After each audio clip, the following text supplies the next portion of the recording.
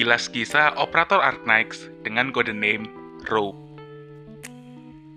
はいはいドクターの言うことはちゃんと聞くからもう寮に戻っていいこの後は用事があるんだからえまだあるのもう勘弁してよお願いだから Rope diilustrasikan oleh yang juga mengilustrasikan beberapa karakter berikut. Pengisi suara Rope adalah Ayumi Fujimura yang juga mengisi suara untuk karakter Savage dan beberapa karakter anime seperti Never Pito dari Hunter x Hunter series dan Ayuzawa Misaki dari Kaichowa Sama series dan berbagai karakter anime lainnya.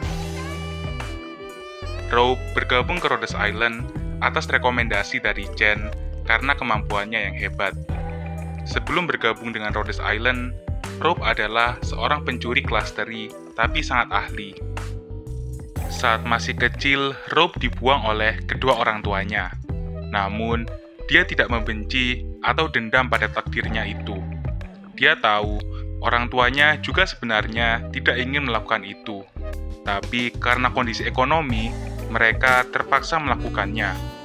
Menelantarkan satu atau dua orang anak adalah hal yang lumrah terjadi di daerah kumuh Lungmen.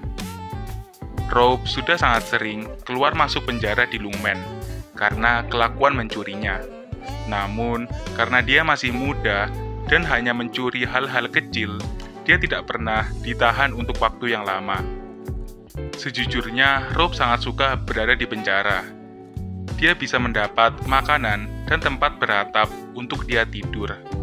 Bahkan karena seringnya dia keluar masuk penjara, dia sampai kenal dekat dengan para sipir dan anggota LGD yang berjaga di penjara. Mereka semua sangat kagum dengan keahlian Rogue dalam mencuri. Melihat keakraban Rogue dengan para LGD dan bakat mencurinya yang hebat, membuat Chen berkeputusan untuk mengirim Rope ke Rhodes Island. Mengapa Rhodes Island? Karena Rope adalah seorang infected.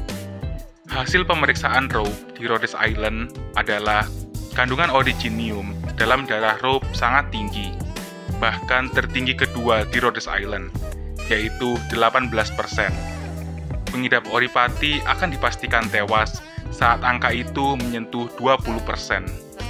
Meskipun di bagian luar, infeksi oripati rope tidak terlalu parah, namun bagian organ dalamnya telah rusak parah.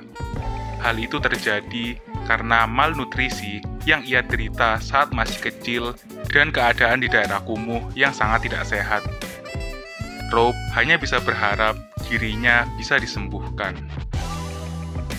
この病気にかかって死んでいくやつをいっぱい見てきたから僕も同じようになるんだって諦めてたところでロドスに拾われたんだ。正直に言ってほしいドクター。僕を治せるよね。治せないかも。まあそれはそれでいいか。